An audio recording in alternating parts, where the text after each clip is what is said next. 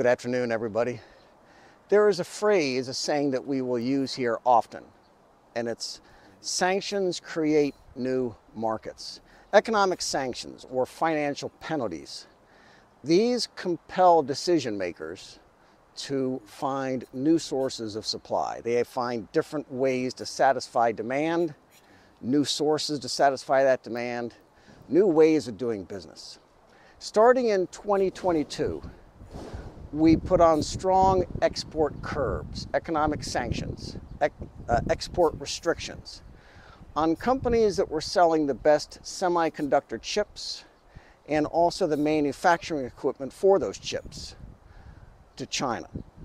Companies that were exporting these chips or equipment to China. In the US, it began in 2022, and then it moved to Europe, expanded to the Netherlands and other countries last year, 2023. The objective of these sanctions was to slow down China's development of their own semiconductor industry. The United States and Japan does produce very advanced chips that are much faster and much better than what China could produce. Uh, there's a company in the Netherlands that makes the very advanced equipment that is used to put transistors on the chips, which is another important part of the chip making process. The idea was that if we could cut off Chinese access to the chips and also the equipment necessary to build the chips, we could thereby kill the Chinese industries that use them and the Chinese industries that could build them for themselves. That was the thinking at the time. So let's go through a little bit of background here. The chips are always getting smaller, and smaller is better. Smaller means you can put more of them into the same volume. Uh, so if you imagine your portable phone or your iPad, if the chips get smaller, you can have more of them doing more things in the same volume. The idea is to always be making them smaller, but to have the same number of transistors or switches on them.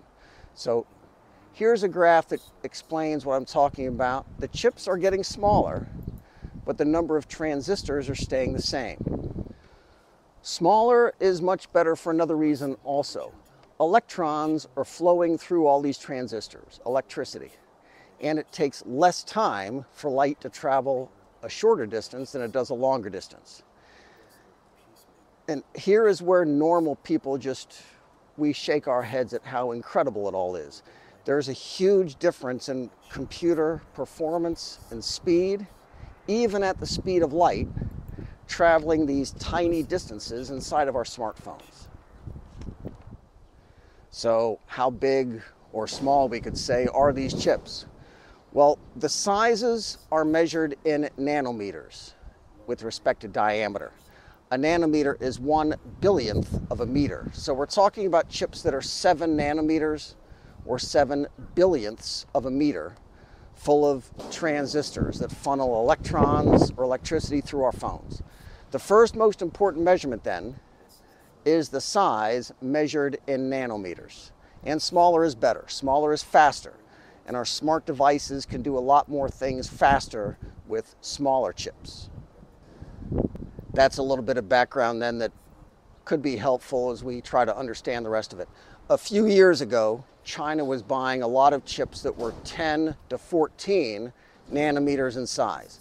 And these were coming from foreign suppliers like NVIDIA and Micron and Intel and others. We did not know it at the time, but Chinese companies were already producing chips of this diameter and their yields were comparable to ours. When the trade restrictions were put on in 2022, we believed that the export bans would prevent China from ever building a 7 nanometer chip. Remember, we didn't believe they were capable of producing a 10. But being able to produce 7s instead of 10s is a huge technical advance. And remember again, we didn't think they could do the 10s. 7 nanometers is important for another reason though. Going from 10 nanometers to 7 was what was required to bring out a big increase in performance for cell phones and other smart devices. More power, more speed, more graphics. We needed smaller chips to make those things possible. And if we wanted to deny China the opportunity to ever build chips at seven nanometers, we also needed to stop the sale of equipment that they could use to make those smaller chips. And that is just what we did. We cut off most of the supply of seven nanometer chips and also the equipment that could be used to make those chips. So imagine the surprise across the industry to learn last year that China did produce a seven nanometer chip. That was back in August. And two months ago, they announced they would be mass producing a five nanometer chip for delivery to smartphone companies later this year. To summarize then, we didn't know they were at 10, but they were. They weren't supposed to be able to build a seven, but they did. Now they're at five. And going from seven to five is another quantum jump, by the way. It took Western companies over five years to do it, to go from seven nanometers to five. But if these reports are right, the Chinese did it in about six months.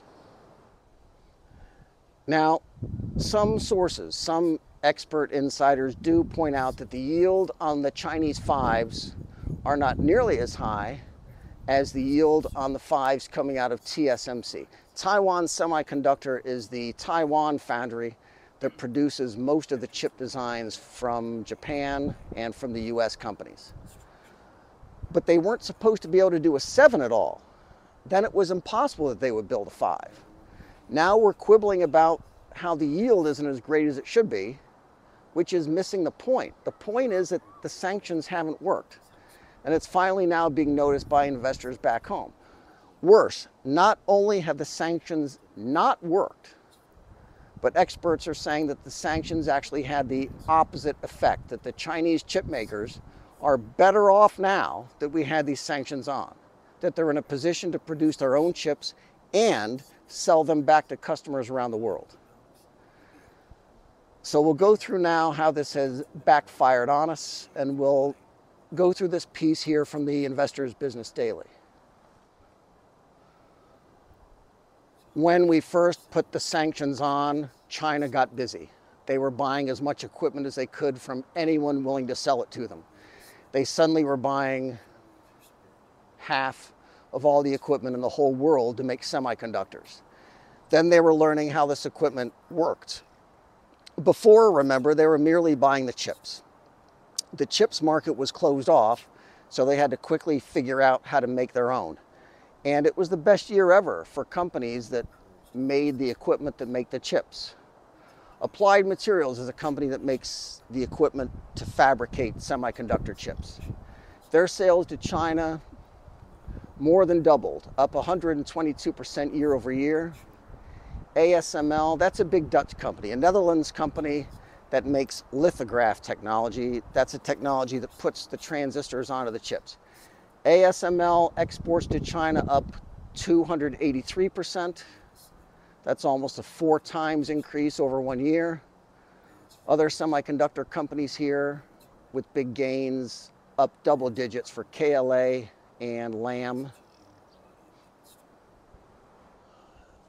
Then what happens next? Well, what's next is bad news for everyone in the chips business right now. Now China has all this equipment now they've figured out how to use it. And the next obvious step is to sell chips of their own.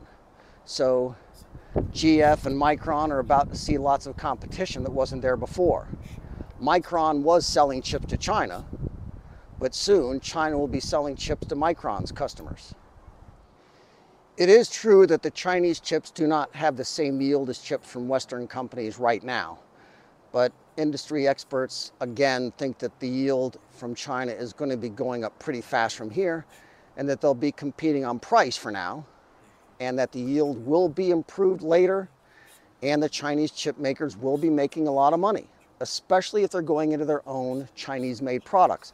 If these Chinese-made chips are going into Chinese cell phones and Chinese electric cars, and then they're sold in markets here in China and other countries all over the world, these are these are huge consumer markets. And they will now be using Chinese made chips now. And on the theme of supply chain, that's what this channel is all about. They've just taken over another one. Uh, Barclays. Barclays is a big bank in the UK. They're based in London. Their take is that US export controls are not merely failing to hurt China, but they're actually helping them. China is in a stronger position today than before. They're making their own chips instead of buying from us, and they're about to dump them into the market and take buyers away from our own chip companies. The implication here is that these sanctions compelled the Chinese companies to innovate and innovate fast. Well, how fast? 2022 wasn't that long ago, just two years ago. And in 2022, the Chinese couldn't build a seven. Today, they're building fives. Two years from now, they'll own the market for those too. And the reason for that is simple. People don't buy semiconductor chips. They buy devices that use those chips that need semiconductors to make the devices work. Customers buy cars or phones or toys or equipment or video games with the chips that run them. And the Chinese make all that stuff. They just needed our chips to make them faster and more reliable. Now they're making those chips too, and at a fraction of the cost. Sanctions create new markets. If you're a regular viewer here, you should expect to hear that a lot. Thanks for watching. Have a nice weekend. Be good.